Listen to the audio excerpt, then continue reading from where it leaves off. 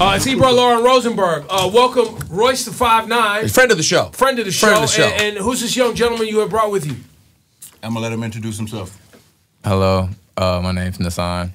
Yeah, big fan of you guys, by the way, too. Oh, Nasaan. thanks, man. Yeah, I appreciate. Yeah, I appreciate being up here. This is crazy. Yo, I, I when last time I saw uh, Royce in Detroit, he was he was telling me about you, and now I see the the rollout is happening. Things are all happening now, huh? Yeah, for sure. I'm super excited, man. Wait, wha- I, I don't. What do you do, sir? Oh, I, I rap. I make music. Oh, yeah, yeah. Yeah, he makes the raps. Well, Royce does a lot of things, so I didn't know. You know, is this an actor in a movie? Is this uh, a weightlifter singer? Is this a rapper? Is this Yeah, you know? yeah, is yeah, he? yeah. You know, I don't know what you guys are working on. My fault. Yeah, yeah. And how did you guys meet? How did you guys connect? Actually, uh, his manager, I um, I used to work at this adult strip club called Sausages, and uh, no, I'm playing. But uh, Yeah, I was about to say. oh, hold on, really? I was like, where we going with this? nah, nah. Him and my father. My father was uh, Proof of D12, so they had a relationship. So it's like me and him are like family in a sense. I look at him like an uncle, and he took me up under his wing. Um, I was over at Def Jam up under Paul Rosenberg, and I would just always come by, and then I just built a really, really great relationship with him, and he's been like a mentor and tutor to me ever since. So yeah, Uh, so you say you're a rapper? yeah, yeah. What you yeah. be rapping about? I mean, you, you, you gotta tell me, man. No, you, he know. rap about some things. Yeah, he rap like- about some things. Yeah. I did. I, I did a little dive the other day when I knew you were coming up, and Yeah. Oh man, You're doing some things. that. Yeah, I more so pride myself on like just being a creative artist overall. Like rapping is cool. I think I was just saying the story the other day. Like I went to the studio with Marshall one time and he was just talking about how much he loved rap. And then I was like, yo, he's different.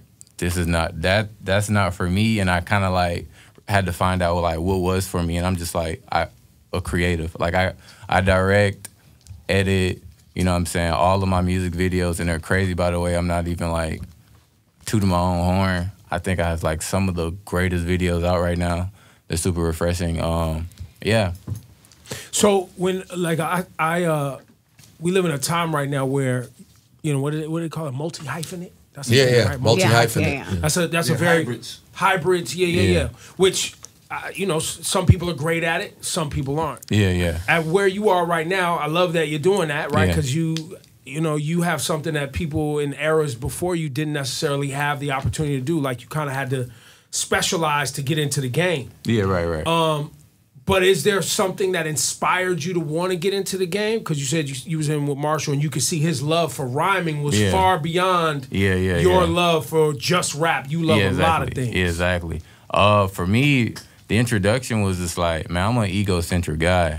It may not look like it, but like my second time in eighth grade, yes, my second time. Oh, it's unfortunate. Um, yeah, it was just like being on the back of the bus and just like rapping with friends, and the excitement I would see every time it was my turn to go.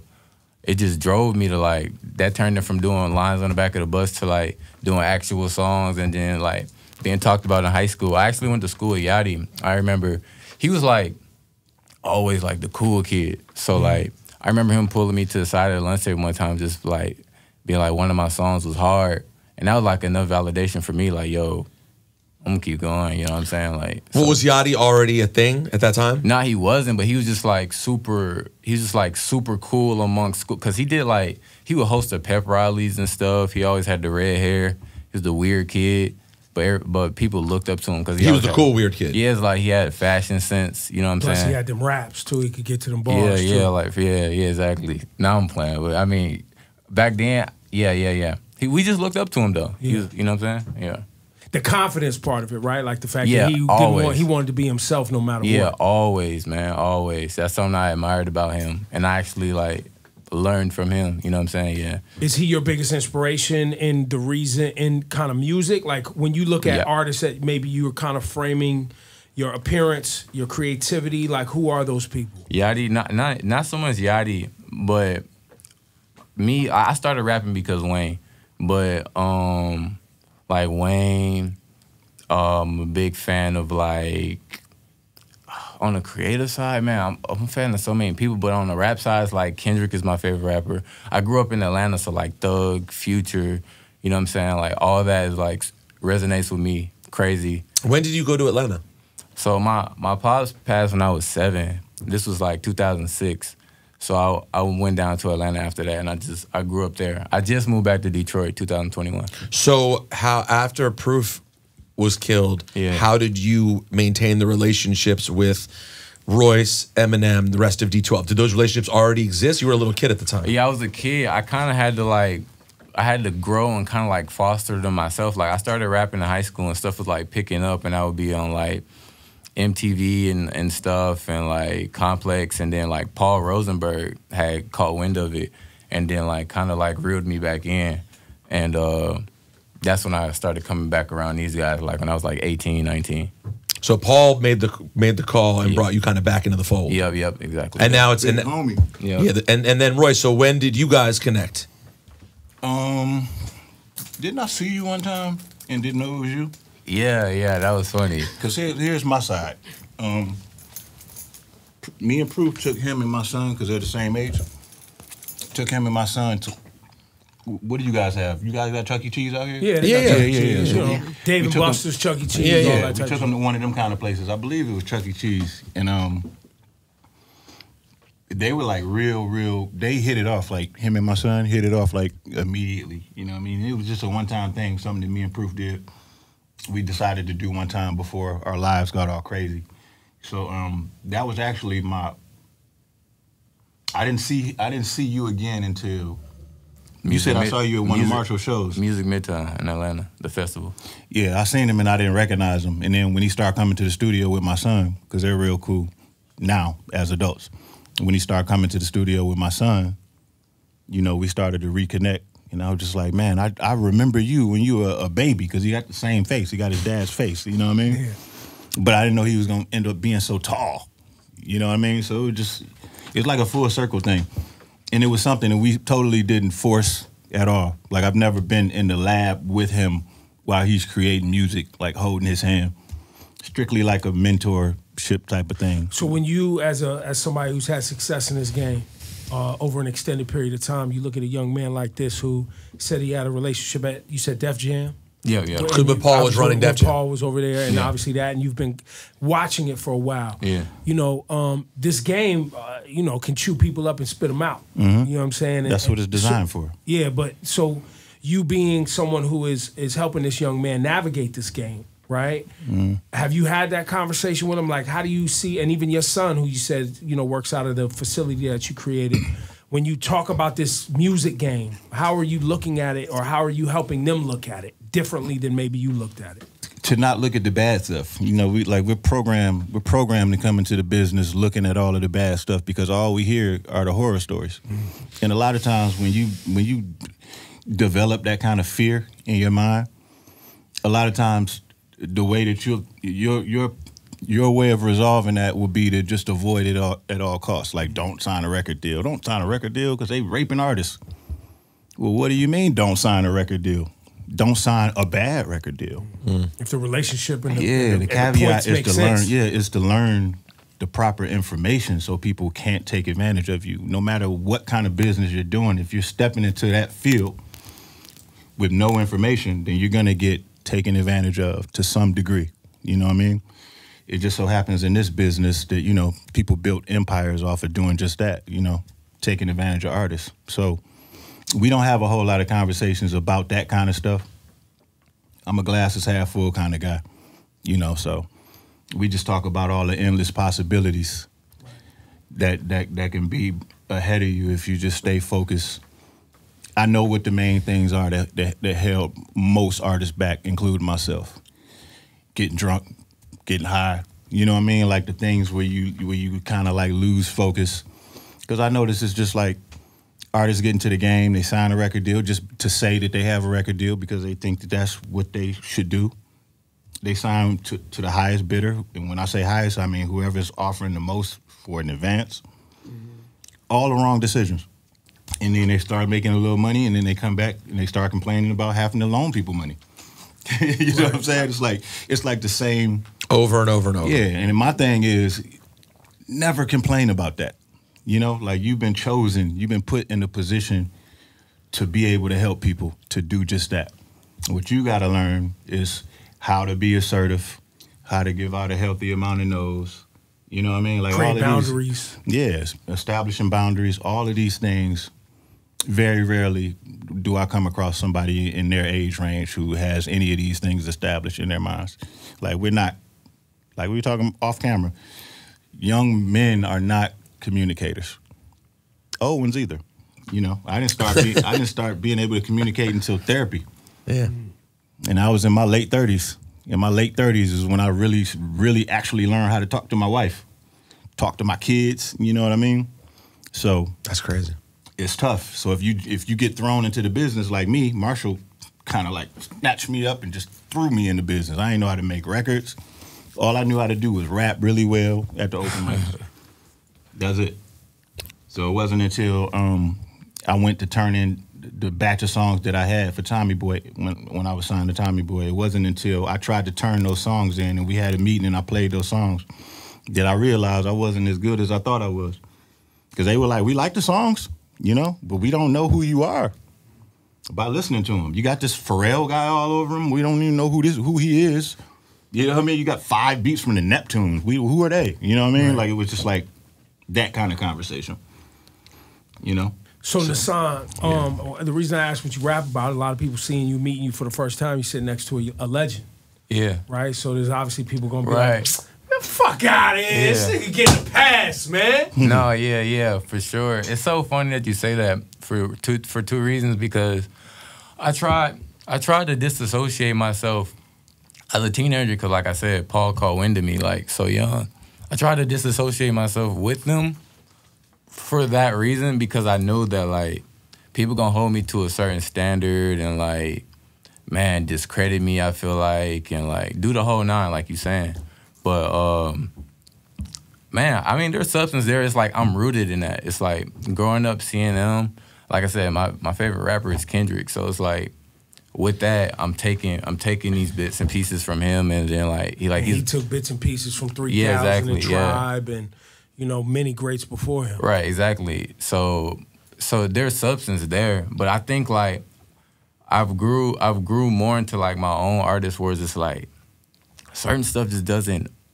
I won't say it doesn't matter to me, but there's other stuff that matters more to me. I love that. Like get, like getting across, and like I said, that's the that's the artistic side. That's like, yo, how how can I paint this canvas as crazy as possible? It's like that doesn't have to be through the lyrical miracle spiritual like, like lyrics you know what i'm saying or like going crazy like The that reason I'm like- laughing is because that's been passed down generations. Well, yeah. The, the description Well, of, of the lyrical, miracle? miracle Nah, lyrical miracle's been going on for a long time. yeah spirituals? no yeah it's different Spherical. it's different ways to be an artist man so yeah And you are like kind of born of the family of lyrical miracle. yeah exactly Right. Spiritual That's spherical? Yeah, I mean that, that's, Empirical. that's yeah how do you how um I, I know it's weird to say how is your relationship with your father who's not here Right, right. but he passed and you were so young yeah exactly how do what is like your relationship like with him in your head do you know him has it been a relearning who he is type thing. It's like, man, I'm like lucky enough for me. Like he passed during a time where like, well, he passed where like. He passed like pre, I mean, yeah, like technology. So it's like there's bits and, and videos and stuff of him where like I kind of gotta like make out who he is through like stories from like him or like other people experiences and like whatever YouTube videos are kind of like remaining. You know what I'm saying? Like you said, yeah, he passed when I was super young and like at the height of like their career almost in a sense. So he was like never really home, if that makes sense. He was always like oh this is that yeah that was peak grind yeah, time yeah, exactly. So they were like always on the road. So I don't, I don't really know my f- my father as I, that sounds bad, but like you get what I'm saying. Like yeah, I don't really know him like have on a personal level. I feel like as much, but man, um, yeah, I find myself like just like digging through stuff sometimes and just like. Cause I am curious, you know what I'm saying? Like I, I be thinking like, damn, what would it be like to have him in my life? Like, just on even like not even him being famous, just like on a like having a dad, you know what I'm saying? Or yeah, so I don't know, it's strange. but it's a unique experience Yeah. you you you are like the child of this father who you know is like a hip hop rest in peace you know what I mean like we we when we first came up in hip hop, it was like there was Scott La Rock and MC Trouble. Yeah. There was like literally two rappers that had died. Yeah, And everyone shouted them out and it was a thing. Yeah. And then was like Pac and Big. and then it was Pac and Big and Pun and L and then and, Yeah. and then Proof, right? Right, like right. And, and and for Detroit, he's he means one thing. For Eminem, who's one of the most important artists of all time, he means one thing. Thing, right. So it's a unique, it's a it's a very unique experience. Very. What um what what does M say about your dad? Obviously, like there's a lot made of their relationship. Mm-hmm. Um, and what does your relationship with Eminem feel like? Um, we're cool. We're like anytime I need them, like they're there. You know what I'm saying? I don't I don't really like bother them as much or just like go go that way because like I'm still just like growing and just trying to figure things out my own. Like I've always been like that. It's like it's weird that you asked me about my father because like I used to run from that so much because like yo, don't don't kill me, but like I think being a rapper's son is like so fucking corny. Like I think Historically, you are correct. Like that is very like- often the case. It's like so corny to me. So it's like I used to hate telling people that. You know what I'm saying? But um I had to grow into it and just like realize that like yo, it's kind of a blessing in a way. And um It's only corny if that is your identity. Right. And but that's the thing. That's why I stood away from it for so long because I feel like even now it's kind of weird right now talking about it because like I I feel like there's not enough of a foundation on my own like to stand on before we get into these conversations. But I'm so confident in my work that I think that like maybe there's people of my who are fans of my dad or like of Marshall who will see my stuff and be like, "Yo, this kid is different." You know what I'm saying? And like just become a fan of their own. But uh, I can tell you just walking in the room, yeah.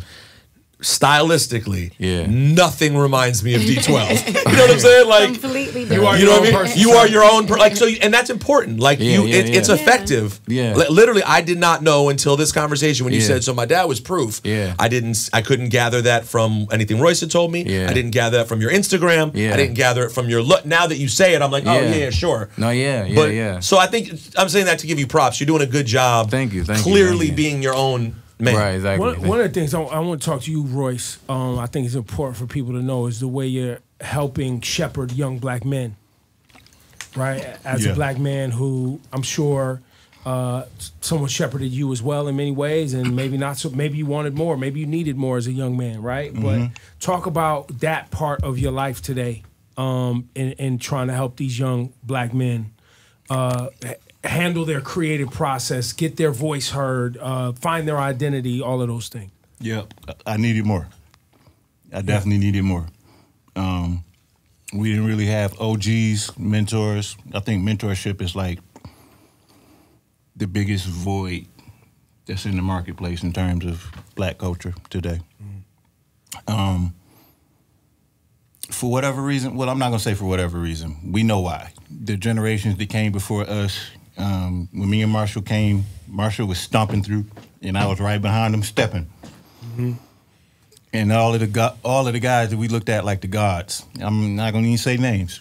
They just looked at us as like competition. They didn't necessarily embrace us, you know.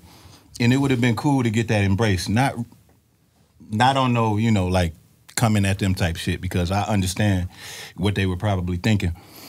I think the game kind of conditions us to, to be more competitive than um, of the thinking what we can get done in, in in solidarity. You know what I mean? So, um, me personally, just as a man, I've been through so much, and I feel like I was not supposed to survive a lot of the things that I've been through. So I'm definitely here for a reason. And um, once I start, it started with my sobriety. Once I started to share, um, be transparent about my sobriety, and I started to get the feedback from it, and realize that I, I was actually helping people with my words. It gave me a fulfillment that I wasn't looking for. I didn't know that I needed.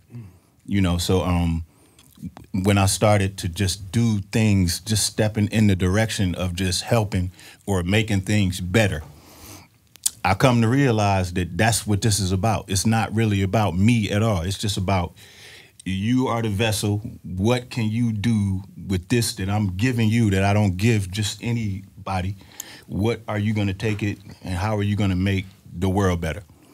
How are you going to make the people around you better? You know what I mean?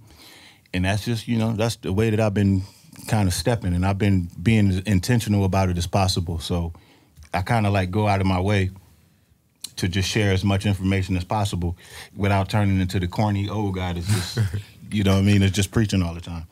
So um, they understand me, and I, I love talking to them. I love having them. I love being around them because I, I learn so much about, and it's not even for the for the for the corny reasons, you know.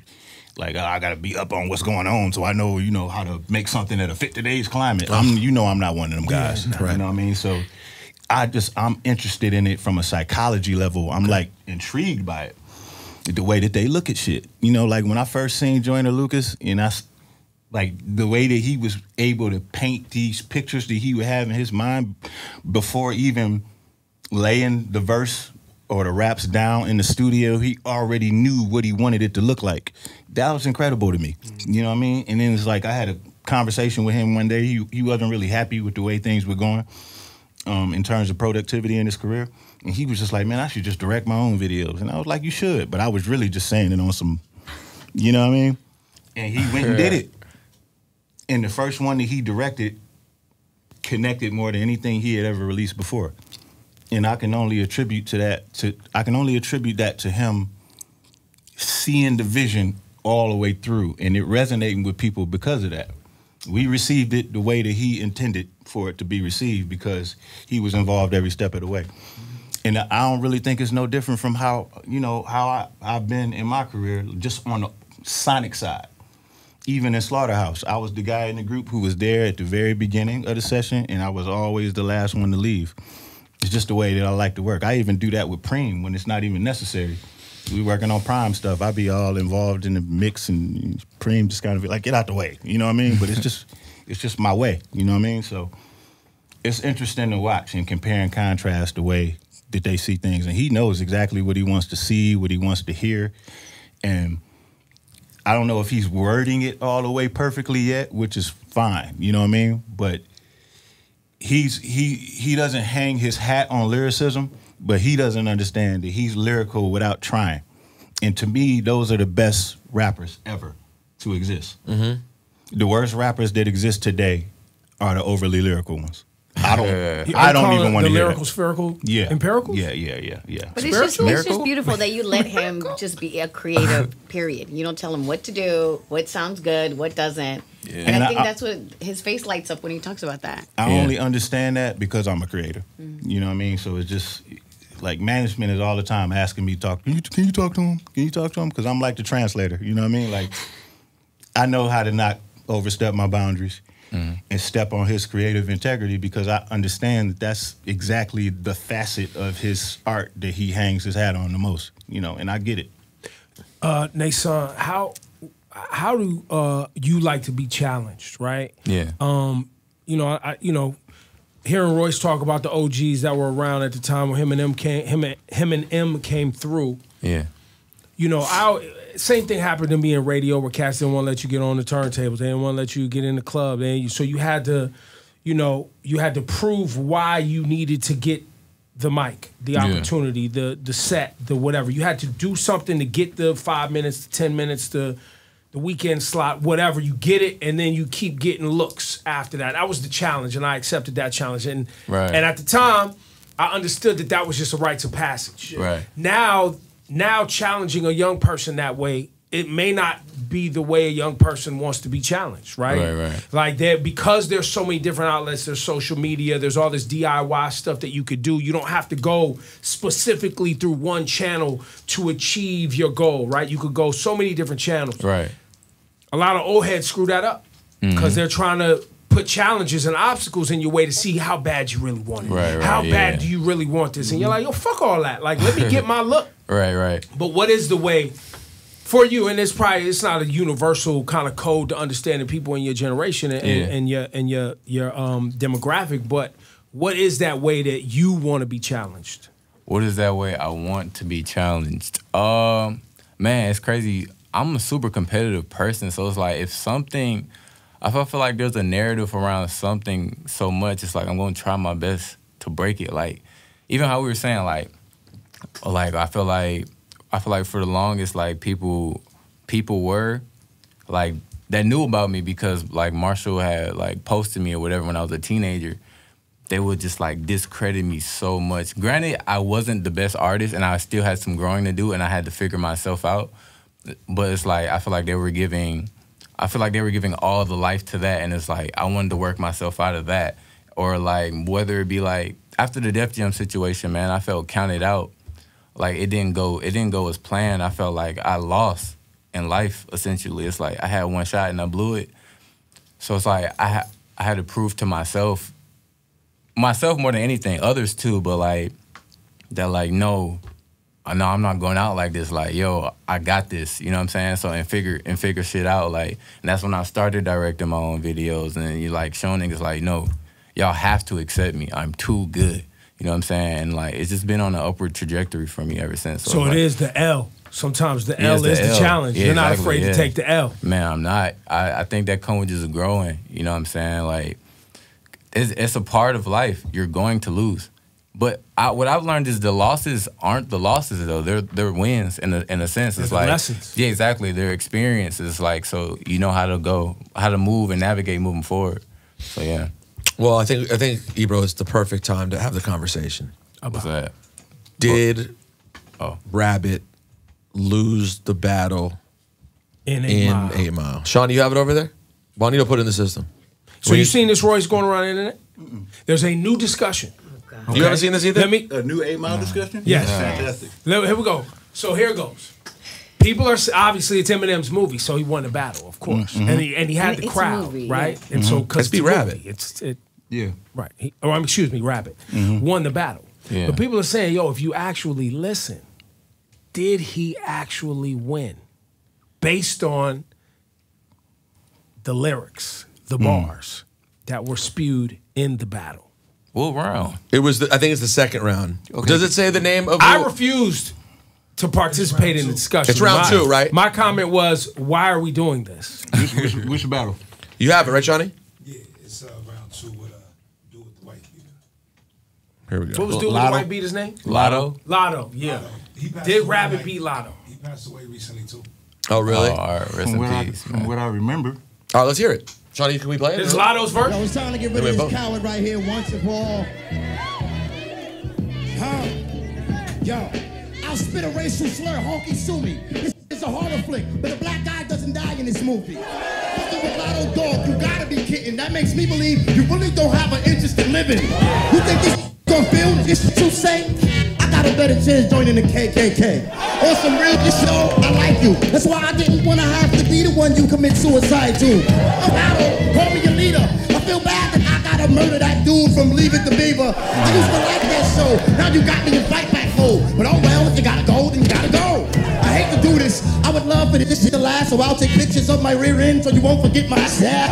And all's well that ends okay. So I'll end this shit with a fuck you, but have a nice day. I mean, it's a it's a solid. I like what he says about leaving the beaver. No, I used to like that show. Like he's like serious. Much much better than what I remember. Right. Uh, on to your Rabbit. Ward, I think you were a little hard on the beaver.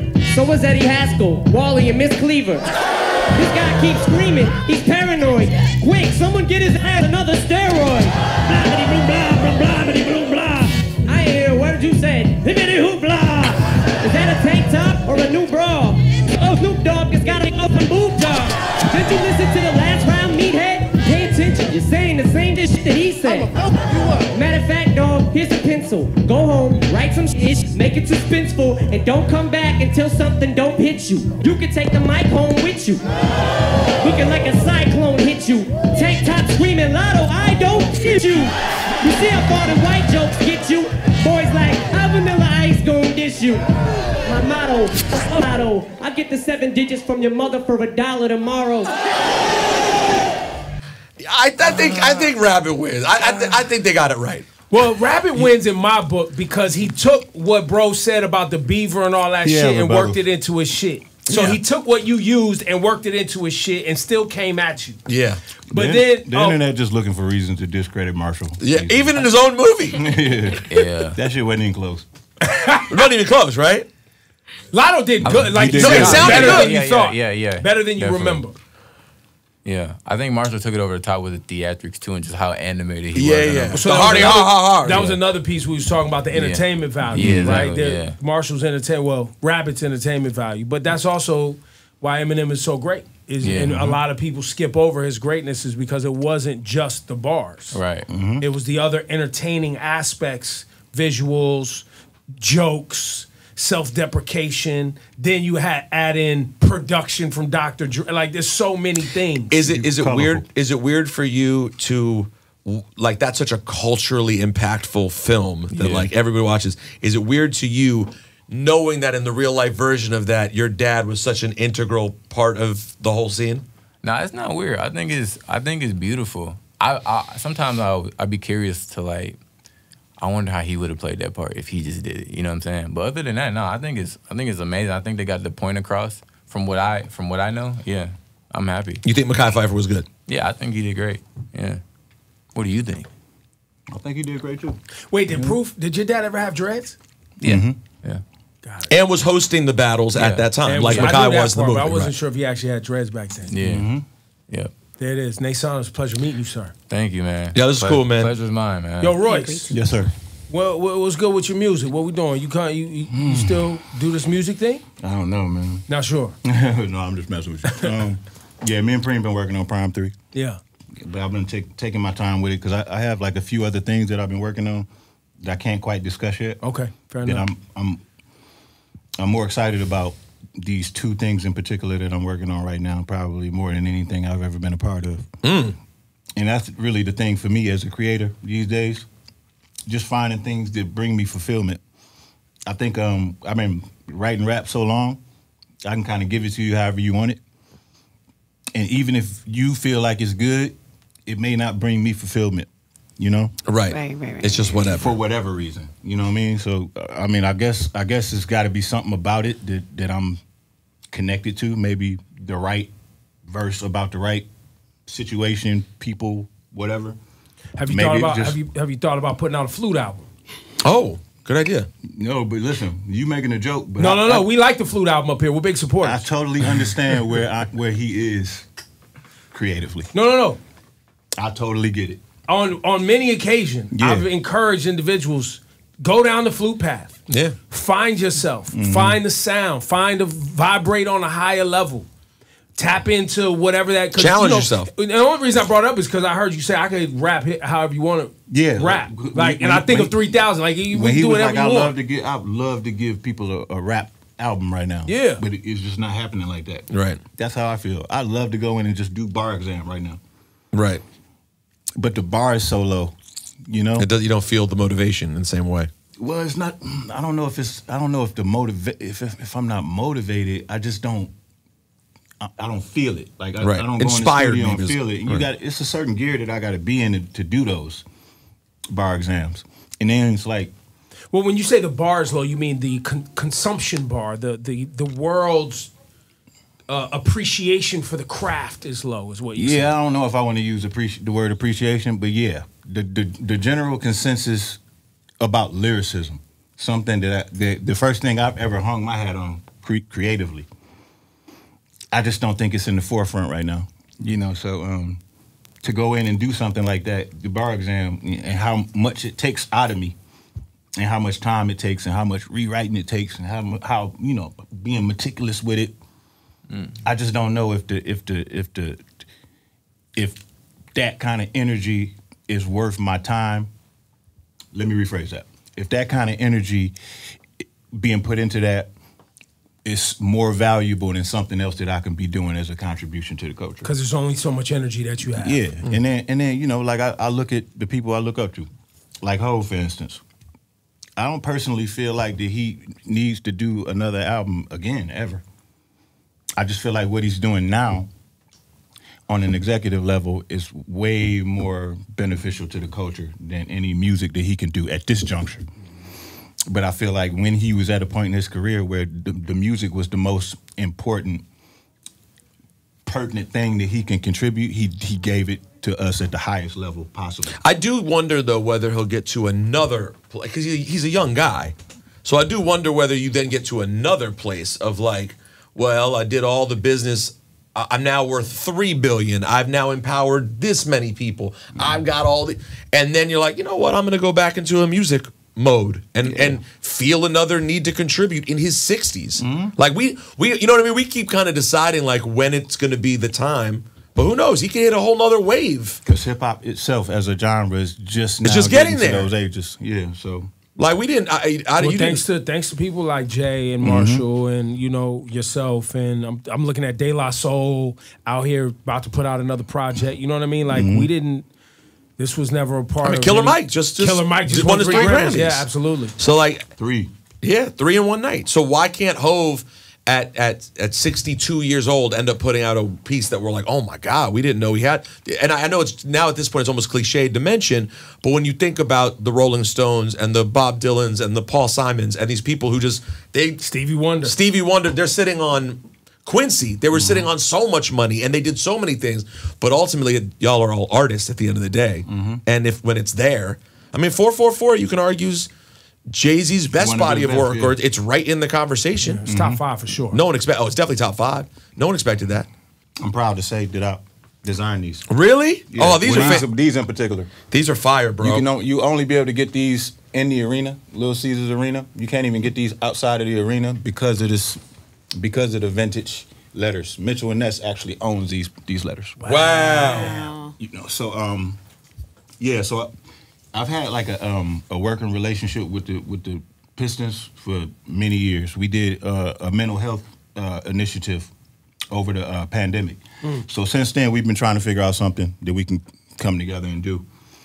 And they wanted to honor Dilla, you know, at 313 Day, which is March 13th in Detroit, um, as well as Dilla Day. And we figured what better thing to do than a merch capsule. So we came together. I got a few of my guys together. I assembled like a, a cool team. My man Goose, my man AJ. Um, and then we came up with the designs and we put it together. So And Ma, Ma Dukes is into it.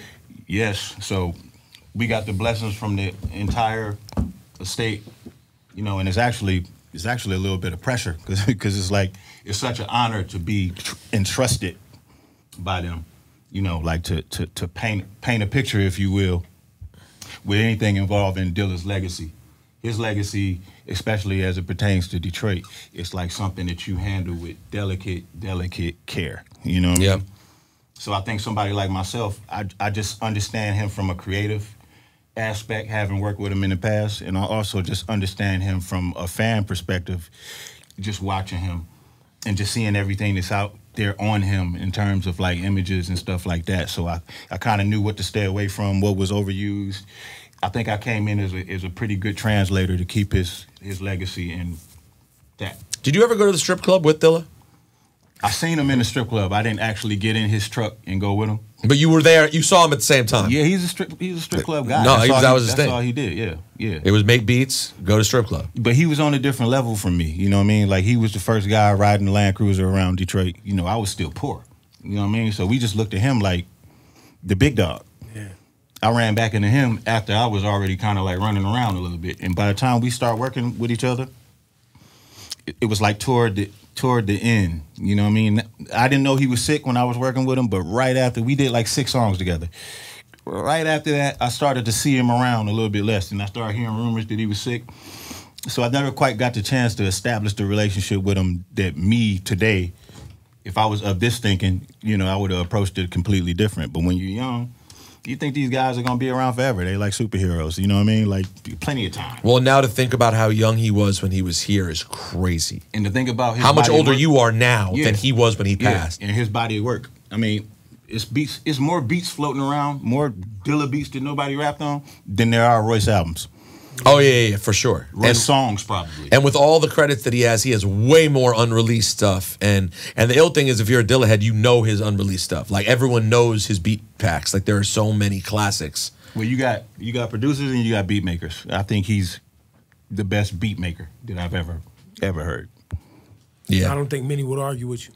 Yeah, yeah. the best, the best. The way he made that, the way he made the machines bounce, just he's just different. just it's just yeah, Different. It's different. and he was doing it minus the technology Right. today. You know what I mean? Like he was doing it with the SP, the MP.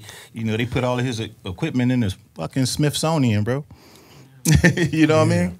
If uh, if you can't get to the arena and you can't, is there as fans, how do they interact with three one three day or any of this? Preem, Piston, Piston, Pistons313shop.com. Pistons313shop.com. But but listen, there are um there's three three t-shirts, four hoodies. These these in particular are the ones that you can only get. But The- oh, that you can only But get you the can other get ones, stuff on yeah, the shop. The other ones you'll be able to get. It's it's it's totally different designs. People are gonna like them. People are gonna love them. Actually, No. I didn't wear the hat today. I wore the hat yesterday, but there's also a hat.